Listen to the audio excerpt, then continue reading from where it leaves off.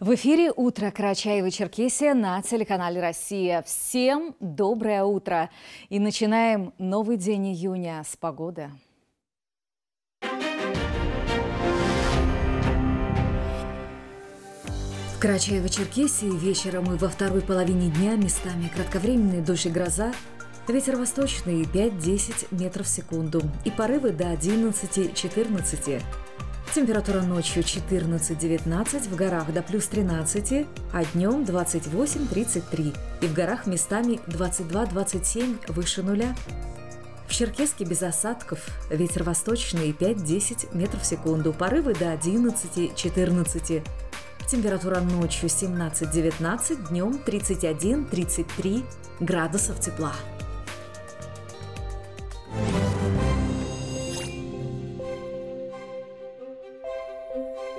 И далее об основных событиях в республике. Сегодня в Карачаево-Черкесии состоится масштабная экологическая акция, направленная на очистку берегов реки Кубань от мусора, участие в которой примут более 4 550 волонтеров. В Черкеске сотрудники госавтоинспекции провели рейд на выявление грубых нарушений ПДД. В результате выявлено 60 нарушений, среди которых управление транспортным средством при наличии неисправности, стекла светопропускания которых не соответствуют требованиям технического регламента и многие другие нарушения. В Доме правительства прошло рабочее совещание по вопросам подготовки и издания книги к столетию Карачаева-Черкесии в 2022 году.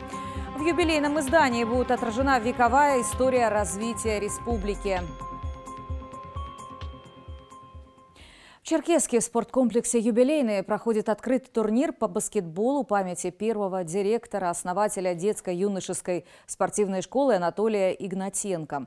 Также в рамках данных соревнований для воспитанников спортшколы провел мастер-класс серебряный призер первенства Европы среди молодежи по баскетболу, чемпион первых европейских игр по... в Баку по стритболу Леопольд Лагутин. На открытии побывал и наш корреспондент Алихан Лепшоков. Получить бесценный опыт у мастера спорта и овладеть прекрасной техникой ведения мяча. До начала открытия турнира серебряный призер первенства Европы среди молодежи по баскетболу Леопольд Лагутин провел небольшой мастер-класс. Сам спортсмен вспоминает, что с детства начал увлекаться баскетболом. Тогда его семья жила в Черкеске. И сегодня у меня есть возможность поделиться своим спортивным опытом с подрастающим поколением, отмечает баскетболист. Стремиться всегда есть куда, но тем не менее, когда я начинал заниматься в Черкеске, не было многих залов, вот этого зала на этом месте, ну, пустырь был или гостиница какая-то, я уже не помню. Вот, сейчас построили хороший зал, где детки могут на хорошем паркете, без дырок, э, побегать, не скользить ничего. Хорошая атмосфера, музыка, свет, все есть. Я думаю, это позитив добавляет э, детям для занятий. Ну, все развивается в лучшую сторону. На открытии турнира всех участников от имени министра по физической культуре и спорта поприветствовал бронзовый призер Олимпийских игр по боксу Мурат Храчев. Также пожелал баскетболистам успехов директор первой детской юношеской спортивной школы Черкеска Юрий Меремкулов и добавил, что этот турнир дан памяти первому директору спортшколы Анатолию Игнатьеву, который сам был баскетболистом и внес неоценимый вклад в развитие спорта в республиканской столице. У них зона России в октябре месяце, но это подготовительный этап к этим всем мероприятиям, эти дети готовят. Мы все играем примерно в зоне СКФО, и чтобы мы знали друг друга, лучше, конечно, так. А призы, кубки, медали, памятные призы, грамоты, все стоят на столе, получат дети, все будут награждены. Шесть команд юных баскетболистов из разных регионов СКФО будут бороться за призы данного турнира. Для нас это прекрасная возможность не просто принять участие в этом состязании, но и получить бесценный опыт от звезды российского баскетбола, отмечают спортсмены. Мастер-класс мне запомнился игрой один на один. Э, Леопольд тщательно все показал и рассказал. Будем стремиться стать такими и, и даже лучше. Такие соревнования, прежде всего, дают нам опыт и развивают баскетбольную культуру в стране.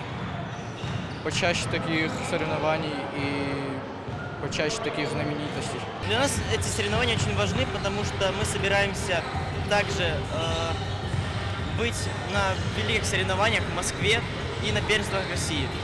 В итоге в первый день соревнований сборная Черкеска в острой борьбе обыграла команду Пятигорска и прошла следующий круг соревнований. Состязание по баскетболу будет проходить несколько дней. Аляхан Эпшоков, Роберт Джигутанов, Вести Карачаева, Черкесия. Новый информационный день продолжает свое вещание на телеканале «Россия-1». Ровно в 9 смотрите информационный выпуск «Вести» на нагайском языке. Я с вами не прощаюсь. Мы встретимся в 9.34 в Большом Мутре.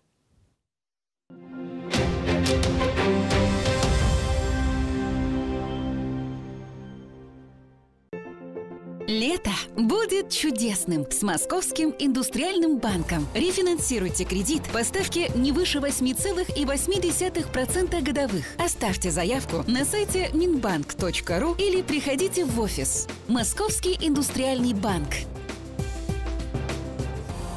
Ластерика. Удивительное эксклюзивное шоу 12 июня в Кисловодском цирке.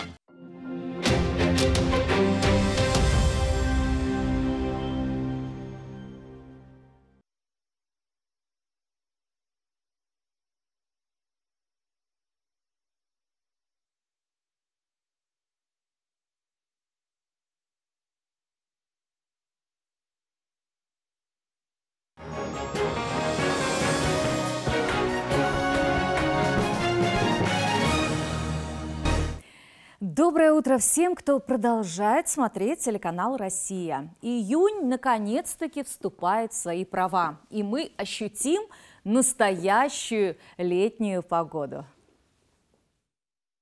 В Карачаево-Черкесии вечером и во второй половине дня местами кратковременные дождь и гроза Ветер восточный 5-10 метров в секунду и порывы до 11-14. Температура ночью 14-19, в горах до плюс 13, а днем 28-33 и в горах местами 22-27 выше нуля. В Черкеске без осадков, ветер восточный 5-10 метров в секунду, порывы до 11-14. Температура ночью 17-19, днем 31-33 градусов тепла.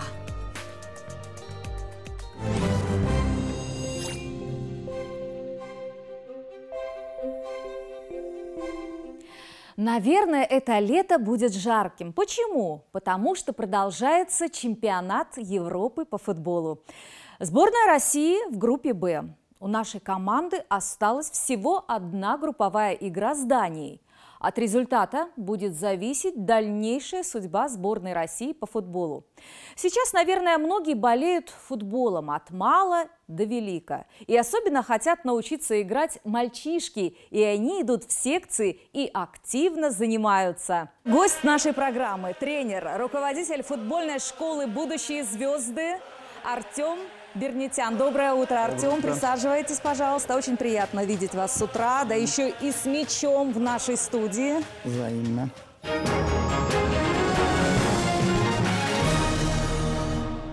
Артем, очень приятно, что в нашей республике открылась футбольная школа «Будущие звезды». Насколько я знаю, э, она открылась в марте да, этого года. Да, так точно, да. Скажите, кто был инициатором? Приглашен я со стороны э, Единой России. У меня, а также под названием «Будущие звезды» тоже есть у нас в Приморском крае. В других регионах, Да, в других да? регионах тоже есть, да, получается, Приморский край, город Партизанск, там тоже трех лет у нас там школа уже есть, действует. Пока там еще один тренер есть, там работает с детьми. И вот как получилось уже все э, предложение, да, вот, что Поступило да, поступило предложение. предложение, что э, приезжай, там, посмотри с того, я приехал, посмотрел, все нормально, все хорошо, лично мне там очень нравился и город, и республика, э, общение с людьми, там, с народом, видел, что действительно люди хотят, дети хотят, а если дети хотят, родители хотят, значит, почему бы отказаться? Да, почему бы не открыть, да, да, школу? почему не открыть футбольную школу?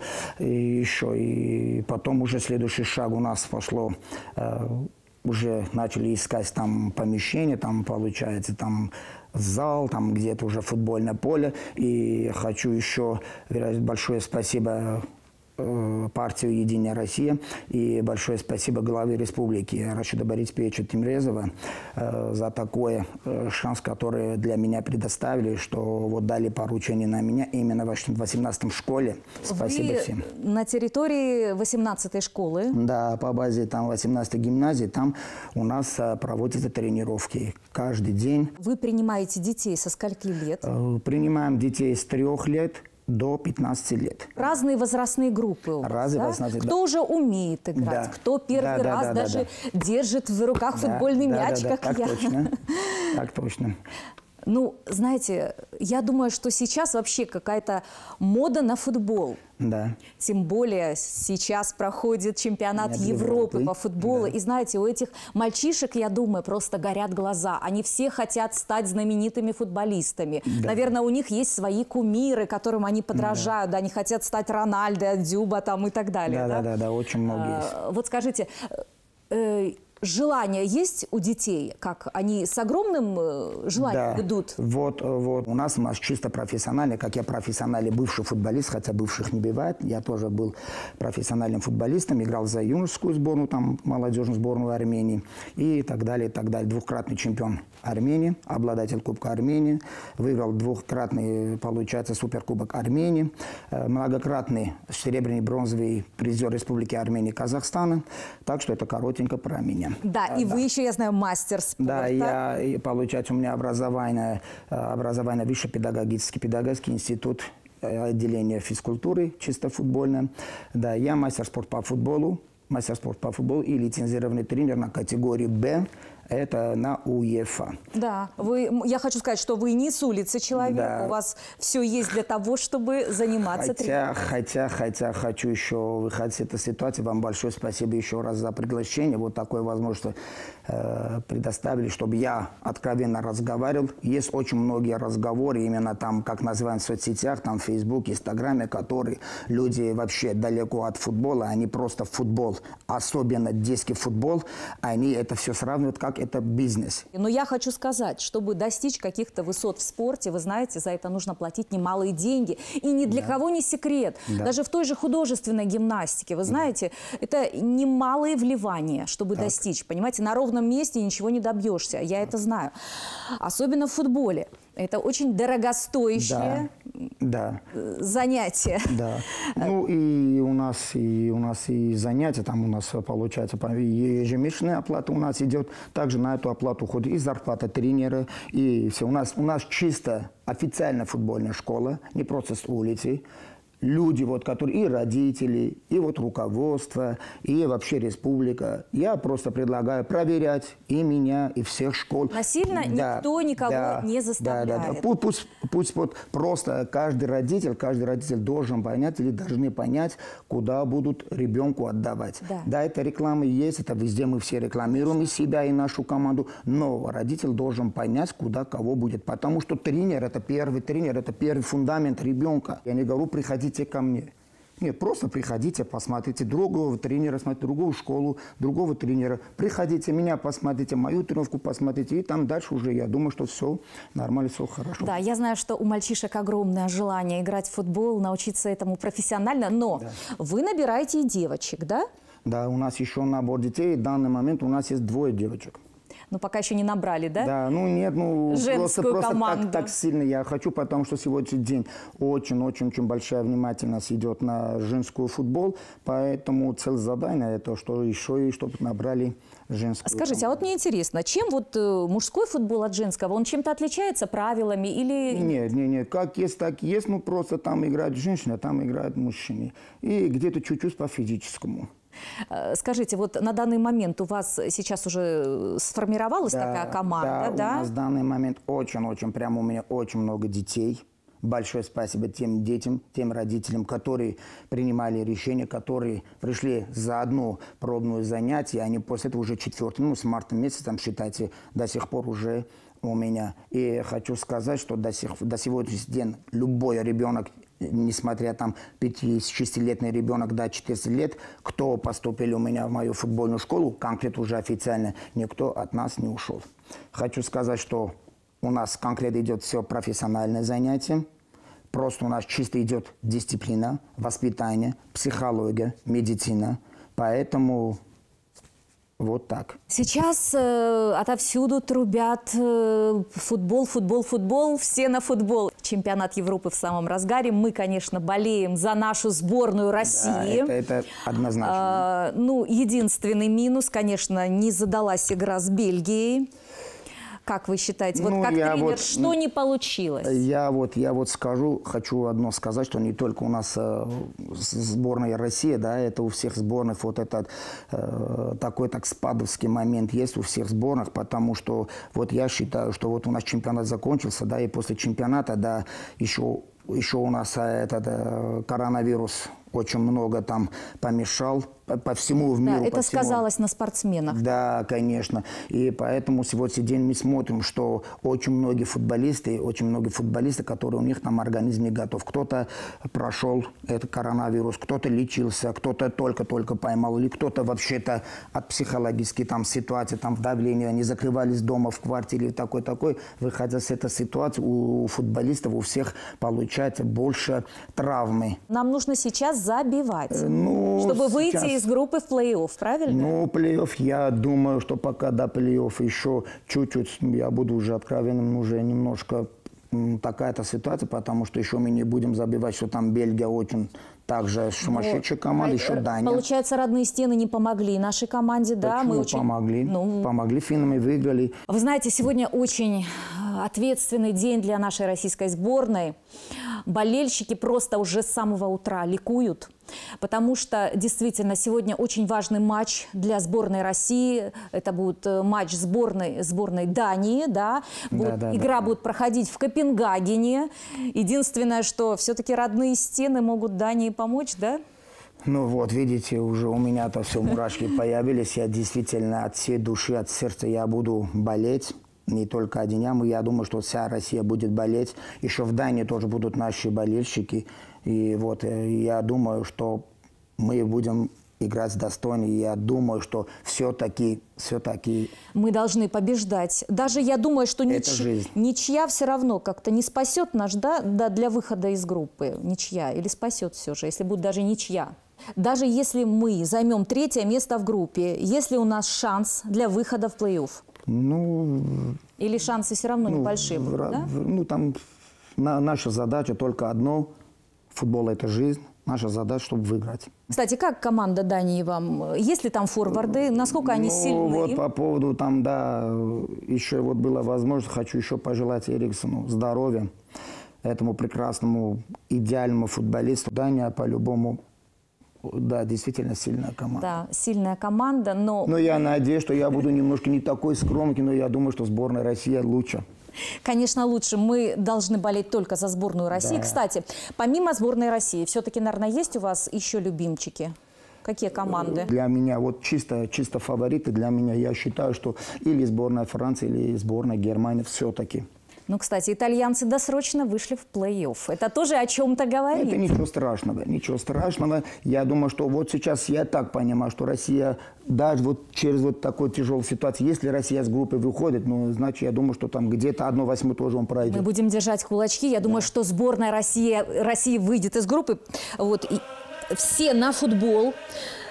Я, как и российские болельщики, вооружилась всевозможными средствами, дудками, так, хлопушками, погремушками. Я думаю, друзья, сегодня в 22.00 по московскому времени матч сборная России, сборная Дании.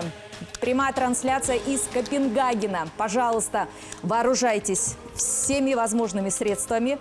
Будем поддерживать команду России.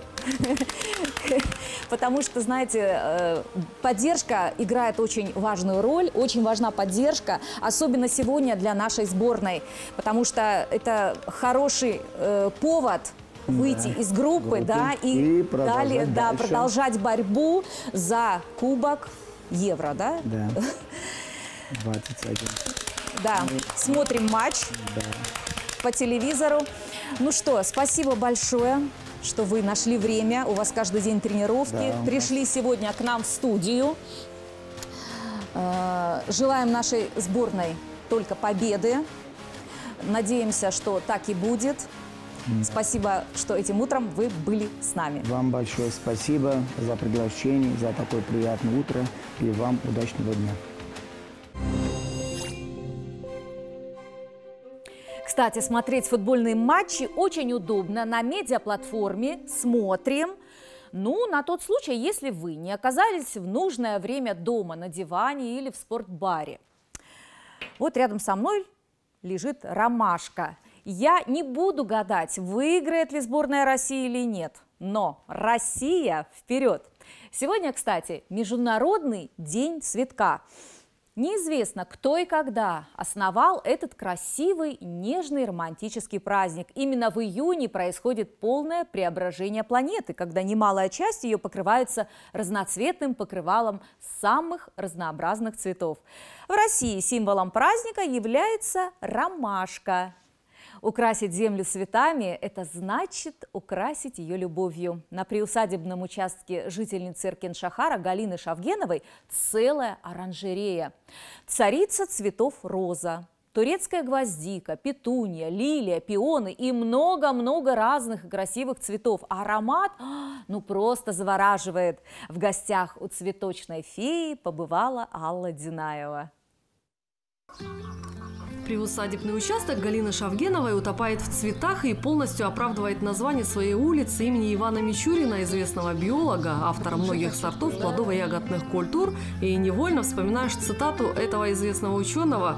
Садоводство является после полеводства одним из самых полезных для здоровья населения.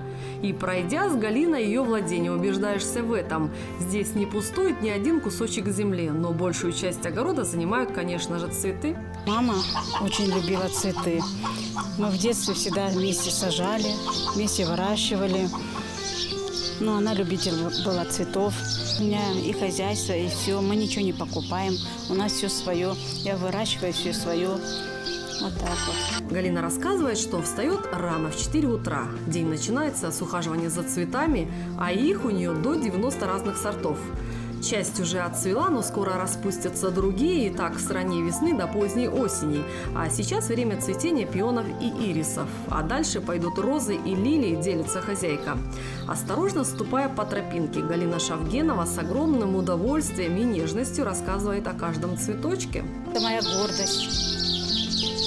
Я знаю, что и всем нравится, и все, когда приходят и восхищаются, Галя, когда ты успеваешь это все сделать, когда ты успеваешь, и мне тоже вдохновляет это, жить хочется. Цветы ее жизни и дети. Помимо своих четверых, она воспитывает и девочку Нику, которая осталась сиротой в 4 года. У нее родители умерли, я взяла эту девочку.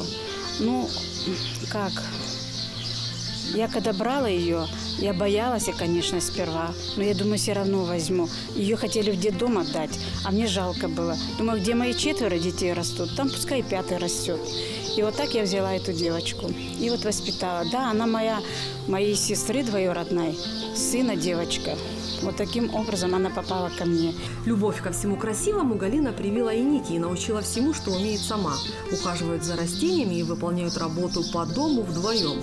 Ведь старшие дети Галины уже взрослые и живут отдельно. Ника, я тебя заберу, но мне надо сделать документы. И, а пока ты побудешь у бабушки дедушки. Я начала плакать, потому что думала, ну, то, что, ну, типа, я одна останусь туда-сюда.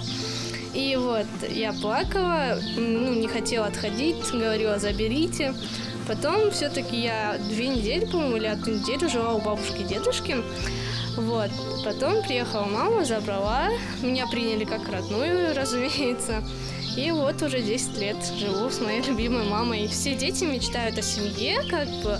Но у меня она появилась, и как бы вот, спасибо Аллаху, и я буду молиться Аллаху, чтобы мама прожила долгую жизнь и счастливую. Но помимо садовых цветов Галина выращивает и домашние. Во дворе и в доме у этой хозяйки очень уютно, а приусадебный участок – красивый цветущий островок, уголок для души. Алла Динаева, Светлана Кокова, Рашид Токов, Ислам Урумов, Вести, Карачева-Черкесия. А теперь о братьях наших меньших. Сегодня день кинологических подразделений МВД России. Их основная задача – это поиск взрывчатых веществ в любых условиях. Сегодня четырехлапые несут службу в силовых подразделениях наравне с человеком. Но на эту роль подходит далеко не каждая собака. Все о кинологической службе управления Росгвардии по Карачаево-Черкесской республике в репортаже Александра Коваленко. Доброе утро, Карачаево-Черкесия! Мы рады приветствовать вас на очередной рубрике «В гостях у Росгвардии». И сегодня мы отправимся в кинологический городок. У входа в кинологический городок нас встречает начальник кинологической группы отделения обеспечения управления Росгвардии по Карачаево-Черкесской республике майор Артем Будников. Он рассказал, что здесь работают специалисты, прошедшие обучение в городе Тюмени, в Центре по подготовке младших специалистов-кинологов. И поведал нам, как проходят их будни и будни четвероногих помощников. У нас существует перечень пород э, служебного назначения, э, которые могут проходить службу в войсках Национальной гвардии. Да, по минорсовому направлению это все сеттеры-поинтеры, различные спанели, немецкие овчарки, бельгийские овчарки. То есть ну, достаточно широкий перечень. Опять же, какое ближе всего кинологу, тот э, и подбирает под себя и породу, и по характеру собачки различные. Дрессировать щенков можно уже в трехмесячном возрасте. Щенки должны обладать острым обонянием. Ведь поставленную задачу нужно выполнять в любых условиях – в транспорте, в помещении, в лесистой или горной местности. А также служебные собаки исследуют пути движения войск, войсковых колонн и не только.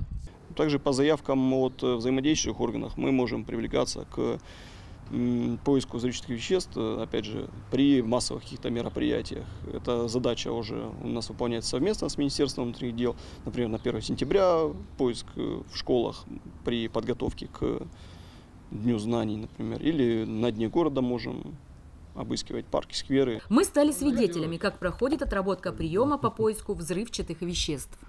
Ищи. С поставленной задачей собака справляется на отлично.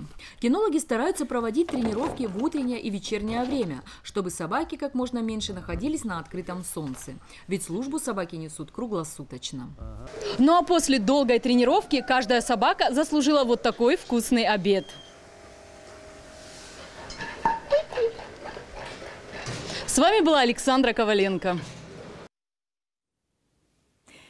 Сегодня во всем мире отмечают праздник День селфи. В одной из самых популярных социальных сетей, Инстаграм, ежедневно появляется огромное количество селфи. Однако в сегодняшний праздник пользователи будут особенно активно постить их в честь этого дня. Причем, чем более креативными будут фотографии, тем лучше. Ну, у меня, наверное, креатива не получится. Ну, просто, наверное, в честь праздника тоже сделаю селфи. Далее телевизионный эфир на телеканале «Россия» продолжает программа о самом главном. А в 14.30 смотрите «Вести Карачаева-Черкесия» с Ашемезом Пьешковым. Всем удачной рабочей недели, хорошего дня и встретимся завтра.